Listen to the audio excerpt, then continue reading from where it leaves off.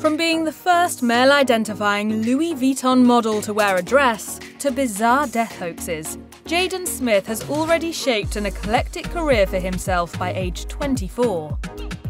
A lot of celebrities don't hit the public consciousness until they get older and do something of note. But when you're the first son of two super famous celebrities, people know about you even before you're born. Jaden Smith's birth on July 8, 1998, was marked in People, which noted that another celebrity baby arrived that same exact day. Stranger Things star Maya Hawke, daughter of Ethan Hawke and Uma Thurman. The magazine also noted that Jaden's famous parents, Will Smith and Jada Pinkett Smith, had just married on New Year's, months before Jaden was born.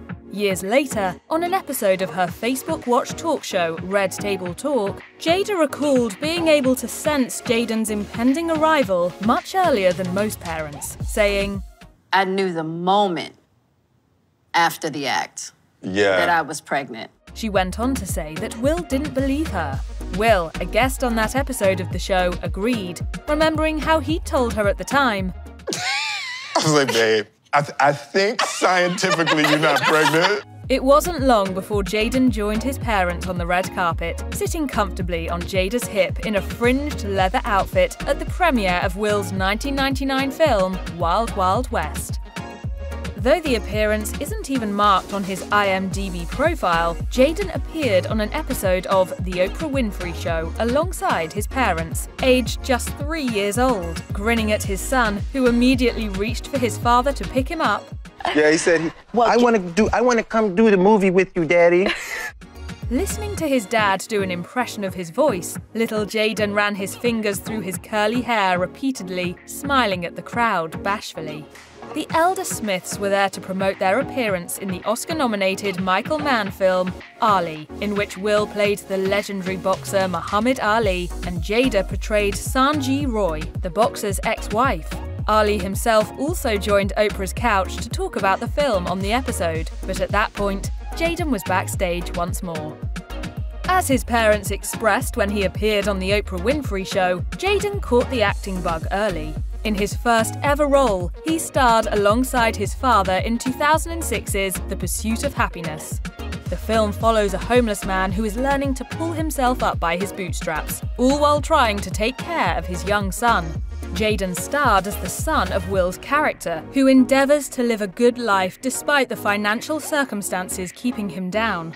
The elder Smith wrote in his memoir, Will, that the casting almost didn't happen because the studio was worried about perceptions of nepotism. As a result, Jaden had to audition nine times for the part. Will wrote, Audition after audition, in all of his innocent six year old glory, he proved himself the right actor for the role. Don't ever let somebody tell you you can't do something. Not even me. Ultimately, Jaden won an MTV Movie Award for Best Breakthrough Performance.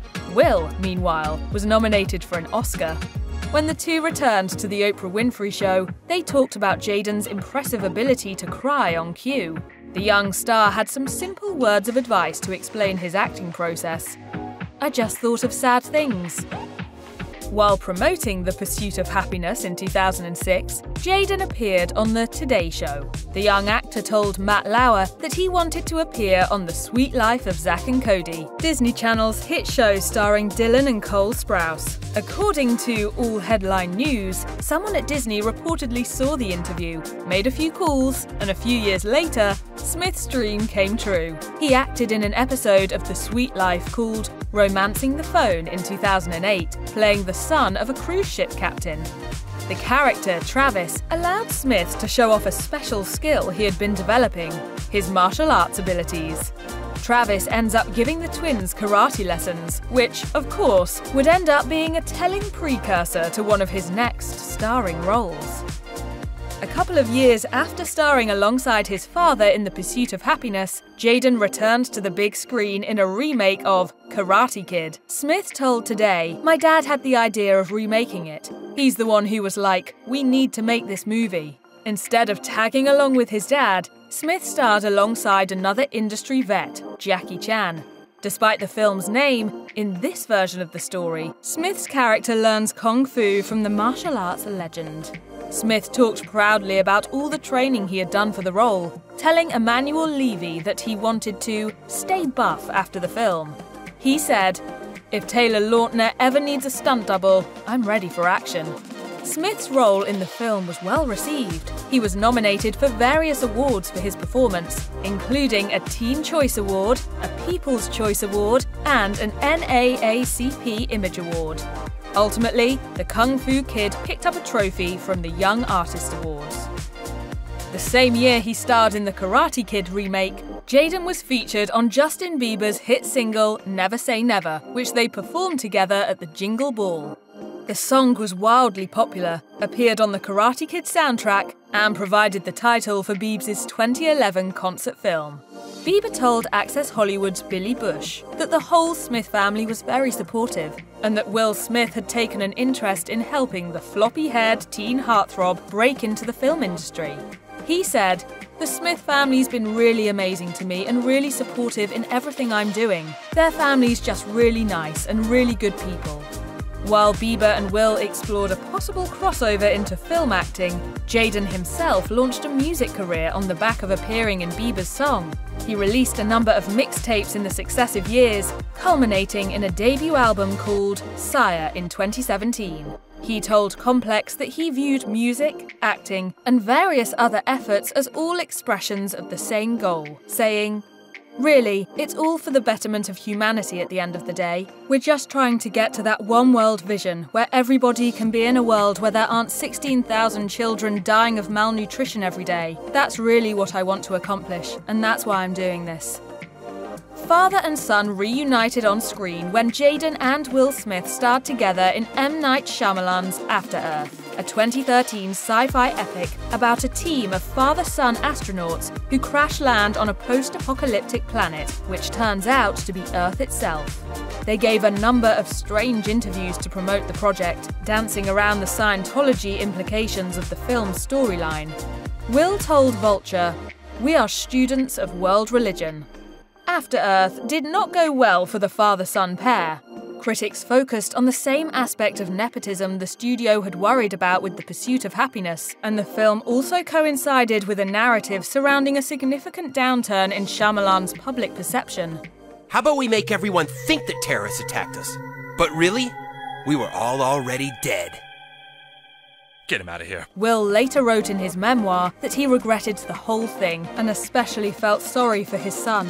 He said, Jaden took the hit. Fans and the press were absolutely vicious. They said and printed things about Jaden that I refused to repeat. Jaden had faithfully done everything that I'd instructed him to do, and I had coached him into the worst public mauling he'd ever experienced. Though the pair seemed to have made up, at the time, things were very tense in the Smith household. Will recalled that after After Earth flopped, Jaden looked into what it would take to be emancipated from his family. Ultimately, he decided against it, but it would be years before Jaden acted in a film again. Not content to simply be an actor and rapper, Jaden spent some time in his teens making his mark as a fashion icon.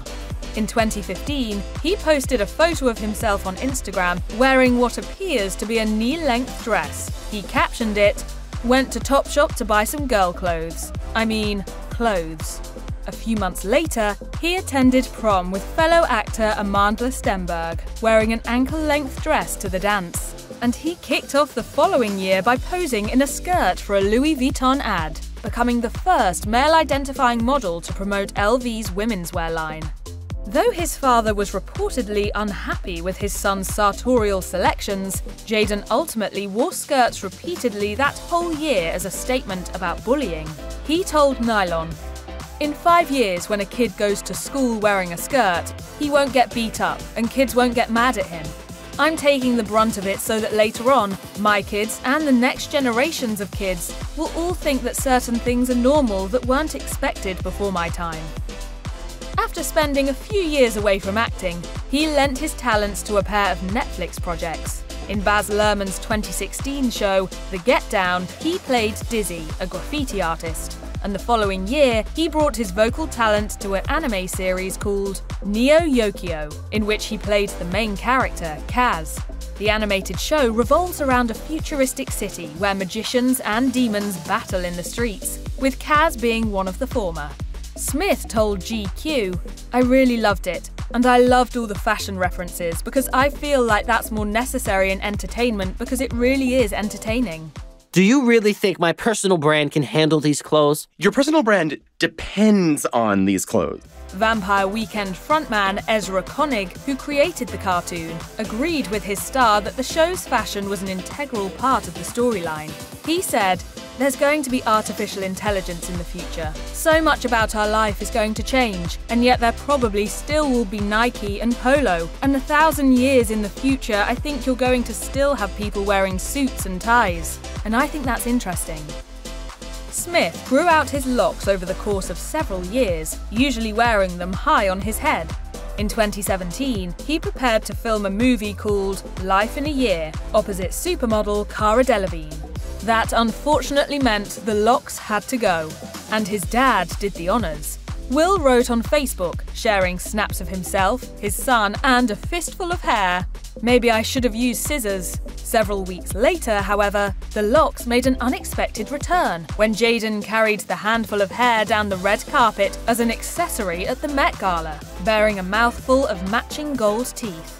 Though many viewers of the carpet were confused, Jaden told Vogue's Andre Leon Talley that his style vibe is, quote, interesting and sexy at the same time in my own way, and that his inspiration for the outfit had been more of a Dracula look, kind of Matrix vibe. Unprompted, he explained the hair, telling the bemused correspondent, Since I couldn't bring my sister as a date, I brought my old hair. The legendary tastemaker laughed and, to Jaden's credit, declared the accessory as avant garde. After taking five years off from acting in theatrically released films, Smith finally returned to the big screen in 2018's Skate Kitchen, a movie about a group of girls who ride skateboards in New York City. Smith was one of the only actors in the film with experience, with the titular Skate Kitchen crew essentially playing versions of themselves. In the movie, Smith plays a red haired skate photographer named Devon, who takes up with the Skate Kitchen girls and falls in love with their leader. Well, you're the only girl I ever brought up here. Really? Although he had made his career as a child star, he told ID that the film showed off how much he'd grown up. He said, I would say that this is my first young adult role, where there is cursing and, you know, just more mature things happening in this film that young adults are doing right now. Furthermore, the multi hyphenate offered advice to other young people trying to figure out where they belong in the world, saying, Make art, make awesome things, just create, because that will really show you different sides of yourself. In addition to his acting, modelling, fashion designing, and rapping gigs, Smith found the time to give some attention to charities in the past few years. He founded a food truck called I Love You, which gave out free vegan food to people experiencing homelessness. The project was launched the day before his 21st birthday. In early 2020, the food truck gave out food in Skid Row, a notoriously destitute area of downtown Los Angeles. According to Live Kindly, the truck's food was provided by Impossible Foods, and Smith's own water brand, Just Water, was given out as well.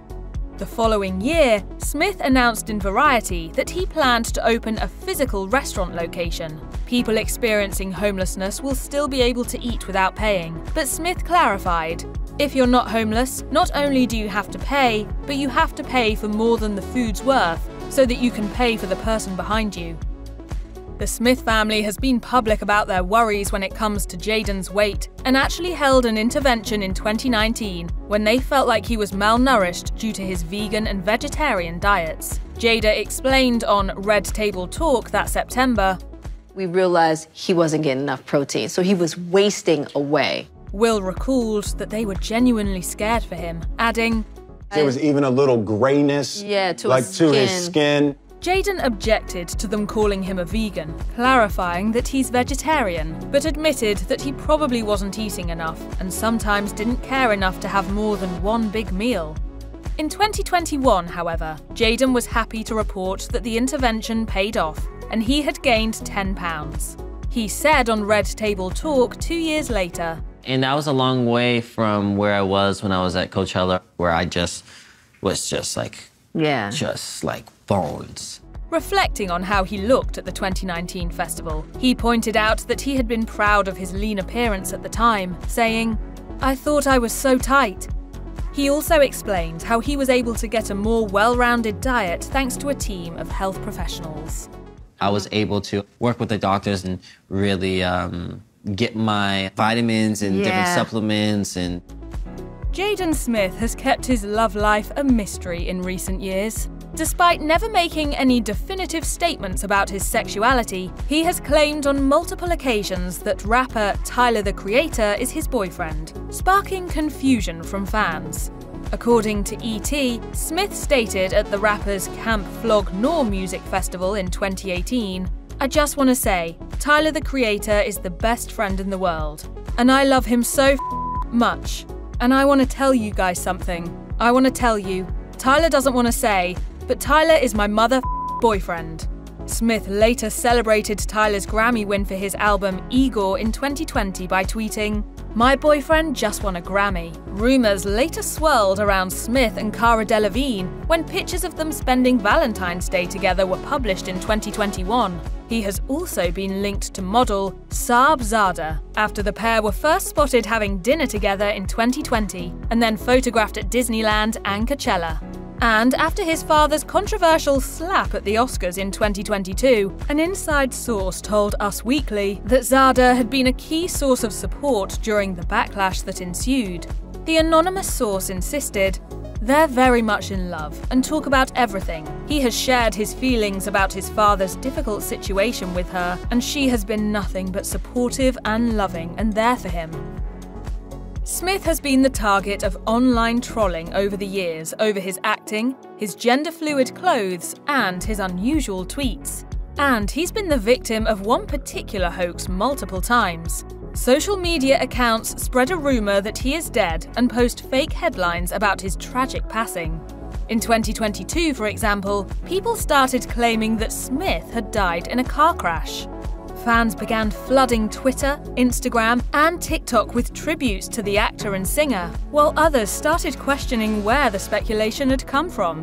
Smith didn't shoot down those rumours with an indignant post proving that he was alive, however, choosing to instead tweet something characteristically confusing. Seemingly addressing the death rumours claiming that he hadn't been seen in a while, he wrote on Twitter just the word invisible. Unfortunately, a similar hoax resurfaced in January 2023, which was swiftly debunked by Snopes. When Willow Smith performed at Coachella 2023, she decided to bring out her big brother as a surprise for the crowd. The musician initially acted as if she was having a conversation with someone who wasn't on stage, before Jaden shocked the audience by coming out and joining her for their song Summertime in Paris. He wore a shirt with the slogan Willow's Brother and made it clear just how proud he was of his little sister and her success by delivering an impassioned speech where he announced how much he looked up to Willow as a person and an artist. He told the crowd, It brings tears to my eyes as your brother to see you do this. I love you so much. I'm so inspired by you. I'm so inspired and happy for what you're doing in the world and the amount of people's lives you're changing with the music that you're making.